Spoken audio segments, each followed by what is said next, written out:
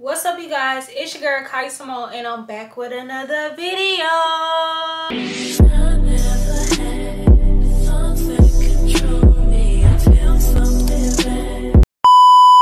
This video today is going to be a pregnancy Q&A. I asked my Instagram to ask me some pregnancy questions, some good questions. So I'm going to answer them for y'all today. And if you're not following me on Instagram, go follow me on Instagram at Kyah. It'll be right here so you don't miss whenever I'm finna post a video, any polls or questions, you'll just be tuned in for real. Before we get into this video, go ahead and give me a thumbs up, subscribe to me, and turn on those post notification bells so you don't miss when I upload. And yeah, we're just gonna get right into the video. The first question is, how far along are you? I am currently 29 weeks pregnant. So next week I will be 30 weeks pregnant and after that I will have 10 weeks left. So I'm in my third trimester. I'm at the finish line. I'm 29 weeks pregnant, which is seven months pregnant. Are you nervous about giving birth? Um, yes, very. At first, I wasn't really worried about it because, you know, like, when you're not that close to the end, you don't be worrying about, oh, I got to push this baby out. You just be enjoying the moment. Some people be sick. I was just enjoying it. Like, yes, I am nervous about giving birth all I do is watch TikToks and YouTube videos about it daily. See how their birth plan was and what they did. How have pregnancy been treating you? I would say pregnancy have been treating me good because compared to all the other females that talk about their pregnancy, they make it seem like they were so miserable, so unhappy. I feel like I didn't get that end of the stick. I really don't know what it be. I don't know if it's the sickness, the emotions, or what. It is times where I get sad and I wouldn't say depressed, but I get into my moods. I have mood swings, but overall, I say I have had a good pregnancy. And I just hope that these last 10 weeks go in a breeze. Like, I hope that they be good too. Have you picked out any names yet? Yes, y'all. His name is set in stone. His name is picked out. We haven't even told the family yet. It's a couple people that know his name. It's going to be at the baby shower, so they're going to know. I don't know when I'm going to come out to y'all and tell y'all, but his name is set in stone. The initials is C A C. So anybody that try to like guess the name in the comments, if you get it right, I'll cash up you $50 if you get his name right. Next question was, what was your dad real reaction? If y'all know me and my dad, we have a very close bond. Um, we're like best friends. A lot of people just know kind of how he is in a sense when it comes to kids. So a lot of people expected him to like be mad at me or I don't know what they expected. He wasn't mad at all. Um, he actually said he figured that was gonna happen. I don't know what he was talking about, but that's what he said. It's like, you got a job, like, that's on you. Like, you done graduated high school, um, you got a job, you 20. It was nothing really for him to say. Y'all see my mama reaction. That was her real raw reaction. And y'all see she wasn't mad or anything. She was just like, I figured. What is the wildest symptom you had? I would say diarrhea because I really did not know that that was a pregnancy symptom. Like, oh, when I first got pregnant, I had diarrhea so bad. And like, throughout the middle of my pregnancy, it went away. But now when I eat fried food, I have it again. So it's like, the diarrhea, like, toothaches. I done had like hella toothaches. Another wild symptom I would say is back acne. Um, I never really had back acne, but like when I look on my back, I like have like black marks and stuff. Where were your cravings? Um, in the beginning, I was craving pickles and Kool-Aid, but as time went by, like I guess I got tired of eating pickles, so I just stopped eating it. At one point, I was craving like tomato sauce. So I wanted ketchup. I was just wanting ketchup. Like anything that I know I put ketchup on, I wanted it. I wanted tomato soup. I wanted spaghetti. It was just like a tomato thing. Like, I don't know what it was. Now, I'm currently on ice bad. And I have never, and I mean ever, been an ice eater. But now I sit there when I wake up in the morning, I want some ice for breakfast. When I go to sleep, I want some ice for dinner. Like, and when I went to the doctor, they said my iron and like whatever hemoglobin, they said everything was good. But I go to the doctor next week and I'm scared that it's gonna be low this time because I don't know, like I just want to stop, but it's so addictive, and I never knew that like eating ice was really like an addiction for real, for real. Are you having the baby natural or are you getting epidural?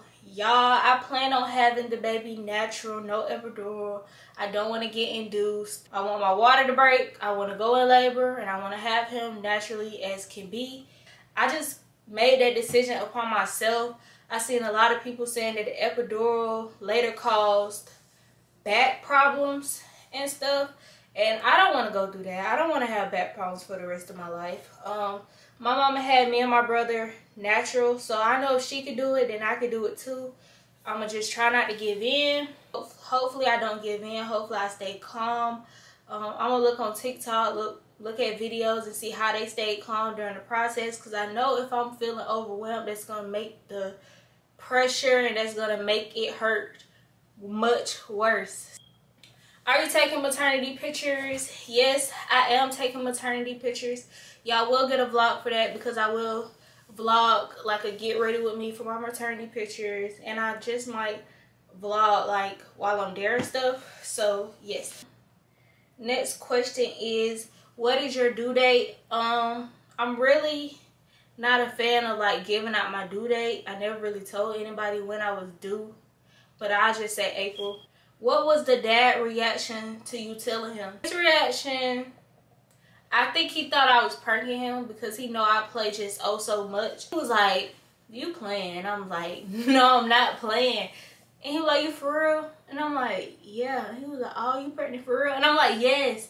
So he really didn't believe me at first. But then like once we got away from each other like that day and like went home, like he was like, You for real? Like you really and I'm just like, Yes. His reaction was good, y'all. He was happy, he was excited, he still excited. So yeah, his reaction was good. I I already knew how his reaction was gonna go. It wasn't no, I'm, oh my god, I'm scared he's not gonna want it or it it was never nothing like that. So do you ever feel the baby moving? Yes, y'all. I always feel him moving. He's always moving non-stop. He is a very active baby. My ultrasounds, he's always moving. He's never been still. They was like, you have one active child. Like, he's a little booger. Like, don't call my child a booger. He's stubborn, too, because he be hiding his face. Soon we try to take a picture of him. He's very active. And last night, it seemed like he kicked me the whole night. I'm like, dude, go to sleep. Only people that have felt him kick was me and his dad. Um, every time I try to get somebody else to feel, he stop. And I was like, you know what you're doing. Like, he just know. And I just can't wait to meet him because I just know he full of personality for real. When is the baby shower and are you vlogging? The baby shower will be February 24th. I am vlogging it, so y'all stay tuned to that. When will we get pregnancy videos with you and the dad? Honestly, I don't know. I I said I wanted to do a video like us just doing a Q&A, answering questions, or just a vlog type. Y'all don't know him, but he is very shy. He is more shy than me. And I just don't know if that's to go well because I don't want him in my video acting like he can't talk. I don't want him in my video acting like he don't want to be there, which he probably don't because he don't like being in front of the camera. So that's just be that'll just have to be like a discussion me and him have. If y'all really want to see us do videos together. But i know like for the gender reveal i did put a clip of him in there. He's gonna be in like the baby shower clips the maternity clips. Um i want to do a belly cast video. And of course he got to put it on me. So he might be in that video. I don't know. It just it really just depends on we just have to communicate. We just have to communicate and see if that's something that we really want to do. Um, was the baby planned? Uh, I get this question a lot. No, the baby was not planned. My mama actually asked that. I don't know why she asked that. But um the baby was not planned, y'all. We was in shock, but we wasn't in complete shock because at the end of the day, like you know what you be doing type shit. Like y'all, y'all see what I'm saying? Like you know what can happen and like the circumstances. So it's like we were shocked that it actually happened, but we wasn't too too shocked to like, how did this happen? How did you feel when you first found out? Like I said, not like shocked, but not shocked. Uh, I was just happy, like, cause I don't know, like I just feel like babies are a blessing, and like God just put babies in people's life for a reason. The baby is there to like mature you, humble you, um, it might be stopping you from doing something you ain't got no business. Like, if y'all know, I was in the car scene, going to car meets, driving fast. Like, that life just probably wasn't for me. Like, and that was just God way of, like, sitting me down and, like, showing me, like, that's not for me. Because after I had a baby, I really don't plan on getting back into that because I don't even want that type of car anymore. I want a different type of car. But the car I want, you can take to car meets. Like, car meets and stuff is cool. Um, but once we get to the takeovers and the hot shit, I don't want to be a part of. I don't want to be running from the police. I don't, like, I just don't want to do the hot shit anymore. Like, I have a child that I need to make it at home for. My mindset is totally different. I, I don't think how I thought last year in January. Like I don't I'm not 2023 me like I think totally different and I just feel like the baby saved me from that. Like even though I never did too much in the car scene, like it's no telling what could happen. Like they're trying to stop stuff, they're trying to put out spikes, they trying to put RICO on folks. That's not the route I want to take. So God just stopped me from that basically. I got off track, but basically I was just happy and I was just blessed and I still am blessed. So are you going to breastfeed? I plan on it. Um, my mom told me just go ahead and just give it a try just to say that I tried it. But I don't know how long I'm going to do it. Maybe for three to six months and then stop. But I do want to rotate between, oh my God, my nose is itchy. I want to rotate between formula and breast milk. See, I don't want to breastfeed. I don't want the baby to suck my nipple out. I don't want that. I want to actually pump. So, I want, he, he would be getting fed breast milk, but he won't be breastfed, if that makes sense. So, yeah, that's what I want to do. But I know you have to have like a good milk supply. You got to be healthy. You got to eat right. You got to take certain pills and stuff. And I'm not a real good pill taker. So it's all about the process and we just gonna see how it goes. But i'm actually i'm gonna try it like what is the hardest part about being pregnant?